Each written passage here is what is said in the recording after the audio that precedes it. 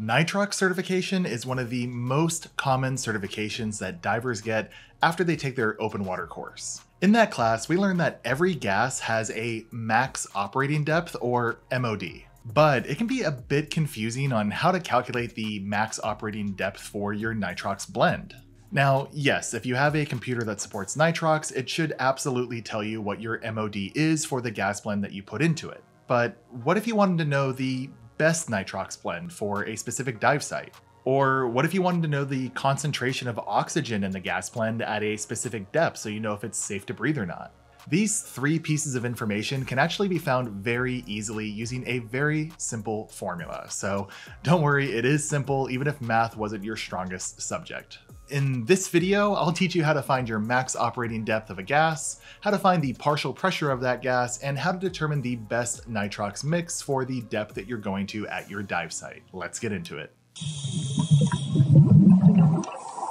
I'm Thomas Hughes, a professional scuba instructor, and on this channel, you'll find videos on scuba education, equipment, experiences, and environmental awareness. Now, before we get started with everything, let me give a couple important disclaimers. First, this video does not replace a nitrox class or a nitrox certification. You should still go seek an actual nitrox certification course from a certified instructor who is active with a actual recognized agency. So don't let this replace it. It's just a way to tell you a little bit more about the math behind it for educational purposes. And my second disclaimer is that the math really isn't that hard, so don't let that scare you away. Just follow along with me. We'll break it down easily with a couple examples. Okay, so with that out of the way, let's do another subject in school and give a quick history lesson. John Dalton actually created Dalton's Law in the early 1800s, and with it, he also created what's known as Dalton's Triangle. Now, you might have seen this triangle before, but personally, I find it to be a little confusing without some explanation and some actual practical application to know exactly what I'm supposed to be doing with this triangle and these different parts here and what that actually means to me as a diver. At the top, we have PO2, which stands for partial pressure of oxygen, or PPO2. Next, on the bottom left, we have a P, and that stands for pressure, or the atmospheric pressure. Finally, on the bottom right, we have FO2, which is the fraction of oxygen, or just another way to say basically the percentage of oxygen represented as a decimal in your gas blend. So if you had 21% air, it would be 0.21. Now, here's the fun part of the triangle. If you have any two pieces of this triangle, you can find the third piece by using the proper multiplication or division sign that shows the divider between those different symbols. Now, that might all make sense in theory, and it's a cool little triangle and stuff, but Thomas, how does it actually apply to me as a diver, right? Well, let me explain. All right, so I moved out to the garage where I have a whiteboard so we can go ahead and calculate our max operating depth or MOD. And for this example, let's go ahead and calculate 32% nitrox, which is a pretty common blend that we'll use. Now, as divers, we are told that our partial pressure of oxygen should be no higher than 1.4. And this is to make sure we don't suffer from CNS or oxygen toxicity. Now, Technically, we can use a single formula that allows you to calcu calculate your MOD in like one formula, but I think personally that it's a little bit more complicated to do it that way, and I actually prefer to break it into steps. So you're more than welcome to use that formula. I'll show it to you in just a moment here, uh, but I like to actually break it into stages instead. Now, all these calculations actually change a little bit if we are in feet or in meters. Uh, for me, I'm in the US, so I'll be using feet, but I'll show you the formula for both as we start calculating these different things. And this big giant formula is actually going to be our PPO2 divided by our FO2, okay? We're gonna take that answer, we're gonna minus it by one, and we're gonna take that whole number and we're gonna times it by 33 for feet. Or it would be by 10 if you're using meters instead. Now, technically, if you're in freshwater, you wanna change the 33 for feet to 34 instead. And then as far as I know, you can still use the 10 for meters uh, because that, that one little fractional difference isn't that big of a deal there. Uh, honestly, to be conservative, I always use the saltwater number. So I always use 10 and 33. Uh, it just means that you're a little bit more conservative with your max operating depth. It won't really mean too much in the grand scheme of things. Now, if you're like me, when you first look at this formula, it kind of makes you go cross-eyed, right? Like it's pretty crazy and I think it hurts your brain a bit. So again, I like to break this down step by step instead so we can actually say exactly what's happening each step of the way. We know how to follow order of operations and to do this first and then this and then this big piece, but it's just confusing that way. First, we wanna stay at 1.4 ppO2 because we are safe conservative divers. And we know our FO2 or our fractional oxygen percentage is gonna be 32%, which is 0.32 when written as a decimal, right? So we can use Dalton's triangle here to go ahead and figure out the pressure with using 1.4 divided by 0.32, right? So 1.4 at the top. We divide that by 0.32 Hopefully that's big enough for you. And I won't make you do the math here, but that equals 4.375 atmospheres. So let me write that here, 4.375, and that is our P, right? So we took our PO2 divided by our FO2, we got our pressure, 4.375 atmospheres. So the next step, now that we know our pressure there, is we need to subtract one from that number. Now, subtracting one is because we need to basically take away the weight of the atmosphere itself. We just want the weight or the atmospheric pressure of the water instead here. So for layman's terms, that's what we're gonna do. So we'll take 4.375 minus one, and I'm sure you can all do this math, but it is 3.375. Now this whole minus one part and then the multiplication piece is just so we can actually get to an actual depth instead of just atmospheric pressure. So we know that as we descend, there's different amounts of pressure. Every 10 meters or every 33 feet, there's one more atmosphere, right? So at 10 meters, it's two atmospheres. At 33 feet, it's two atmospheres, right? At 20 meters, we're gonna be at three atmospheres, or at 66 feet, we'd be at three atmospheres. So what we're doing is we're basically normalizing the atmospheric pressure that we got by taking one away, that's that whole like extra one that we have on the, on the meters, for example. And we're getting our number here. And now we need to multiply it by our depths. So either 33 feet or 10 meters. And that's like per atmosphere, right? So we take 3.375 and we're gonna go ahead and multiply that by 33 or by 10, right? If we want meters or feet. So 33 feet or 10 meters, right? And that's gonna give us our max operating depth. So again, I'll save you from the math. You can use a calculator for this if you'd like, but it's gonna be 111.375 feet. Or if we're doing meters instead, it's 33.75 meters. A lot easier to do the math in our heads for that one. 111 feet and 33.8 meters, we would just do a rounding instead. And that would be our max operating depth or MOD. So we can write that over here, MOD right? That's our final answer. So as you can see, it's actually not too difficult to calculate this. And this giant formula, I just took each step of the operation and broke each order of operations into its own stage for us so we understand what's actually happening. Now, I think calculating your MOD is cool and all, right? And, and it's kind of cool on its own, but again, we can definitely like type it into Google and get a reference, or uh, we can just enter the gas into our dive computer, for example, and we'll get our MOD. But what if we wanted to see what the partial pressure was of oxygen at a certain depth? So we have 32% or 36% or whatever that is, and we know we're gonna be going to 80 feet, let's say, or you know, a different depth in meters. What if we wanted to know what that partial pressure is gonna be at that depth, just to make sure we're safe and we're getting enough oxygen, or we're not getting too much oxygen and we're above 1.4, right? Or, you know, better yet, what's the best mixture for a depth that I'm planning to go to? Well, first, if you're finding this video valuable, feel free to share it with one of your friends so they can learn how they can calculate not just their MOD, but the best mix that they have, as well as finding their partial pressure as well. Personally, these are the types of videos that I always recommend people bookmark or save into a playlist later for like a refresher because it's nice to refresh yourself on how these calculations work and how other skills like this work in general. All right, so let's go to move on to the next calculation. How do we calculate our partial pressure of oxygen at a certain depth? So basically, if there's too little or too much oxygen in the blend for the depth that we're planning on going to and that we're planning to breathe it at, right?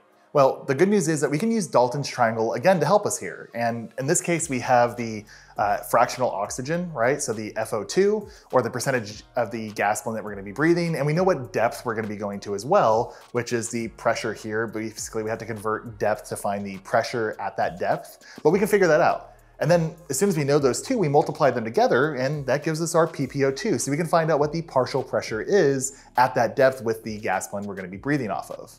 So let's go ahead and write that out, right? So we're gonna take our FO2 and I'm gonna multiply that by our pressure, right? So the pressure in atmospheres or at bar, doesn't matter in this case, uh, the pressure that we're gonna have at the depth that we're planning to breathe it at, right? So to find the atmospheric pressure, we do need to take our depth and we need to convert it over to that. Now, to go ahead and convert our depth, we need to actually divide it by 33 if it's in feet, or we need to divide by 10 if it's in meters. And then we take that answer and we add one to it to get back to the atmospheres again. So this is basically the opposite of the max operating depth calculation if you followed along with that. For this example, let's say we're gonna be using 36% nitrox, and we're gonna go to, so 98 feet, or 30 meters, whatever you wanna say. We'll do the math for both of them here, right? So to find our atmospheres, we're gonna take 98 feet. We're gonna go ahead and, and divide that by 33 to normalize everything and add one, right? And if you do that math in a calculator, that's gonna equal 3.96. I'm gonna go ahead and just round that to four, and that'll make sense in just a moment when I do the meters. It just makes it a little bit easier for us here. You can use 3.96 and get exact, but we can round to four in this case. So if we do this with meters instead, again, the metric system beats us here in America, but we're gonna take our 30 meters, okay? We're gonna divide that by 10, and then we'll add one to it. And this is really easy mental math here, but 30 divided by 10 is three, plus one is four. Okay, so now we know we have four atmospheres, four bar is our P value. So now we have our FO2, it's 36% or 0.36. We have our P value as well, that's gonna be four. So we just need to take 0.36 times it by four and we'll get our PPO2. So that'll equal PO2 on the triangle, which is our PPO2, right? So if we do that right now, we take 0.36, we times it by four, we will get our PPO2 of 1.44, right? 1.44, interesting. So yes, technically if I did slightly less than this 3.96, you'd get a slightly different answer, but for this all intents and purposes, we'll go ahead and use uh, four and round it there instead. And technically, we are not allowed to breathe this gas, right? So if we have a PPO2 at 1.44, that's above our 1.4 limit as recreational divers. And that means 36% at 30 meters or 36% at 98 feet, whatever you wanna say, is out of range for us. We're not able to use that gas at that depth. Now, taking a look at that, it's 1.44, right? It's just barely above 1.4. So how would we find the best percentage possible for our dive then, right? How do we calculate what the best mix is instead? And just like that, through the power of editing, the magic board has just erased. So we are reset and ready to go for the next formula. So it's important to say first before we get started on this that when picking a nitrox blend, you should factor more than just your max planned depth. But for this video, we're gonna focus on just what the best mix is for the depth instead, and we'll worry about all the other factors that go into picking your actual nitrox blend for a separate video. Now, when I use the term best mix, what we usually mean here is that getting the highest percentage of oxygen you can in your nitrox, that you're certified for, of course, as well, uh, without exceeding that 1.4 PPO2 limit, which is our limit as recreational divers. Now, it's important to note that you don't have to use 1.4 for this, like there might be reasons why you need something other than 1.4, whether it's lower or higher potentially as well, but that does fall into more of a technical diving scenario usually, not so much in recreational diving. The good news is these formulas that I'm showing here, because it's a PO2 value, it doesn't have to be 1.4. You can plug any number into that. I'm just gonna be using 1.4 for this video for consistency's sake and because this is more targeted towards recreational divers. But again, if this needed to be a different number, you would just use something other than 1.4 in the different formulas here. Now, with that said, let's go back to our Dalton's triangle like I just showed so we can figure out what the formula actually is that we need so we can figure out what the best mix is gonna be. Now, what parts of this do we have, right? Well, we know we're trying to find our fractional oxygen percentage. So we're trying to find what our best mix is. So what we do have is our PPO2. We don't want to exceed 1.4.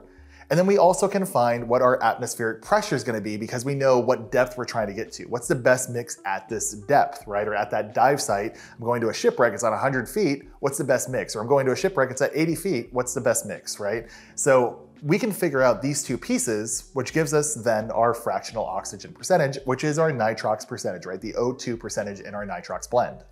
So this gives us the formula here, PO2. We divide that by P, and that's gonna equal our FO2, which again is gonna be the percentage of oxygen in the mix, which is our you know, best mix, we'll say. and that writing's a little small, but I swear it says best mix, right? In quotes, best. Because again, your mileage may vary on what you actually need here. So um, with that said, let's go ahead and figure this out here. So for us, again, we know that PPO2 is gonna be 1.4, so that's not the hard part here, but we do have to pick a depth of some sort. So let's say we're going to 25 meters or uh, 82 feet. That should be equivalent there with the conversion. So how do we convert this from a pressure, or sorry, from a depth back into a pressure again? Well, if you followed along in the last formula, we get to do the exact same thing to convert that into a pressure. So for feet, we're gonna divide by 33 feet and then add one. And for meters, we're gonna divide by 10 and then add one. So let's go ahead and do that here. So we're gonna find P equals 82 feet divided by 33 feet, right? Plus one atmosphere.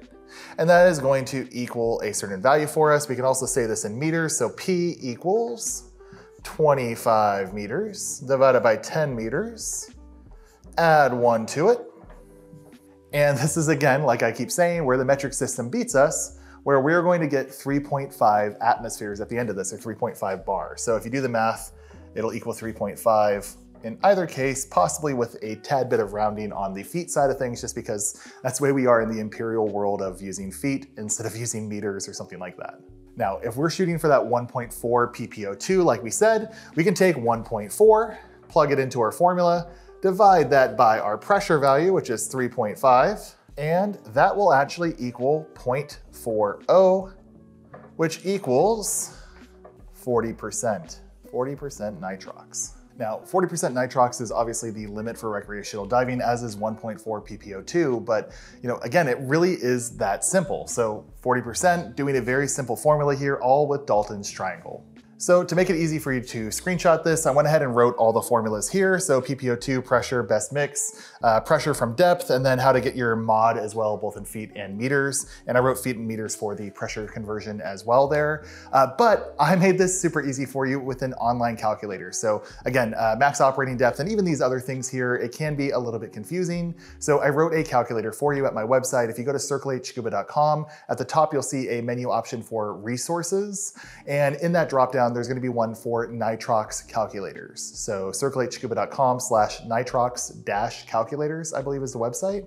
And you'll be able to actually get access to calculate any of this stuff on your own using that free online calculator.